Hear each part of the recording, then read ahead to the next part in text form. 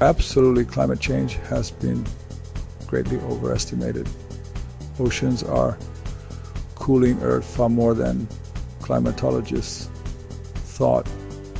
Norwich, United Kingdom, when it comes to climate change. A new study finds that our fear over the planet's health may be greatly overestimated. For the first time, researchers have found oceans help cool global temperatures more than anyone previously thought. Specifically, sulfur gas produced by marine life emits a second compound that significantly cools the planet. The discovery will help create more accurate climate models and provide another tool to slow global warming. With almost three fourths of Earth covered by oceans, the waters capture and redistribute the sun's heat. The latest study in Science Advances shows the process goes much deeper than that. The oceans also create sulfur gases that create particles to cool the Earth, such as brightening clouds that reflect heat. The new compound released from sulfur gas is known as methanethiol. It has not been detected before because it is extremely hard to measure. Additionally, much research has been done on warm oceans, while polar oceans are the emission hotspots. Microscopic plankton living on the sea surfaces emit a type of sulfur gas known as dimethyl sulfide. This gas is the one responsible for the stinky smell. In shellfish, once sulfur gas reaches the atmosphere, it oxidizes and produces small particles called aerosols. These aerosols reflect solar radiation back into space, lowering the heat on Earth. Plankton also releases methanethiol.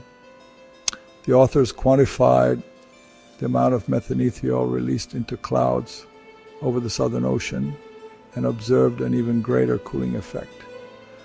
The cooling impact on the climate is bigger than expected and works the opposite of greenhouse gases such as carbon dioxide and methane, which absorb heat. Researchers have found that sulfur gas produced by marine life emits a second compound that significantly cools the planet. This is the climatic element with the greatest cooling capacity, but also the least understood. We knew methanethiol was coming out of the ocean, but we had no idea about how much and where. We also did not know it had such an impact on climate, says Dr. Charel Wohl, a researcher at the University of East Anglia's Center for Ocean and Atmospheric Sciences in a media release.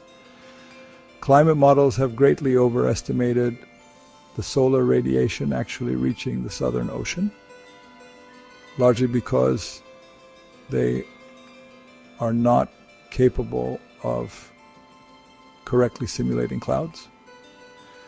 The work done here partially closes the long-standing knowledge gap between models and observations.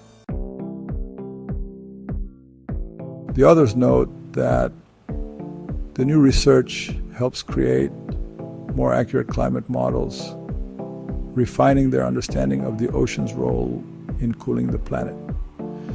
These models include those that predict what would happen to the Earth when the global temperature rises by 1.5 degrees Celsius or 2 degrees Celsius, with results influencing current climate change policies.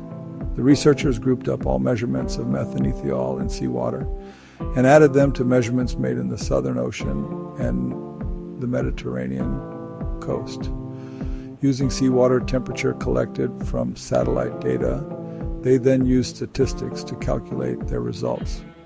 Yearly, methanethiol increases marine sulfur emissions by 25%. It may not seem like much, but methanethiol is more efficient at oxidizing and forming aerosols than dimethyl sulfide and Therefore, its climate impact is magnified, says Dr. Julian Villamayor, a researcher at the Blas Cabrera Institute of Physical Chemistry in Spain. The team also added marine methanethiol emissions to a climate model to measure their effects on the planet's radiation.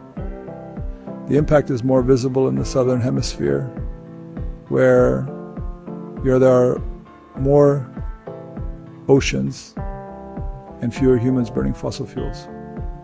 And while sulfur aerosols are important in cooling the planet, the authors note that human behavior will determine whether the planet continues to warm.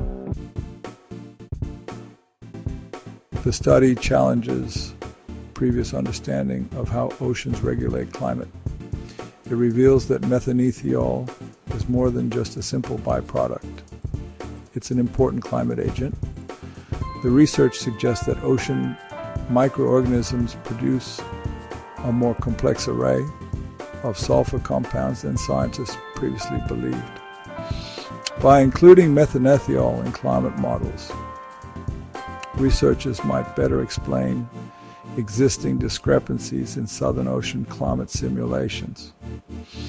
The findings lend additional support to the long-standing CLAW hypothesis, which proposes that marine life plays a crucial role in climate regulation through the emission and transformation of volatile sulfur compounds.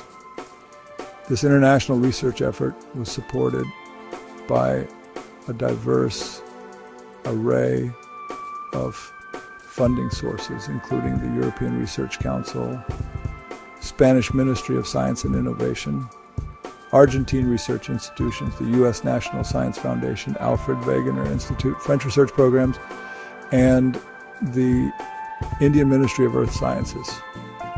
Despite the multiple funding sources, the researchers emphasized their commitment to scientific integrity by declaring no competing interests.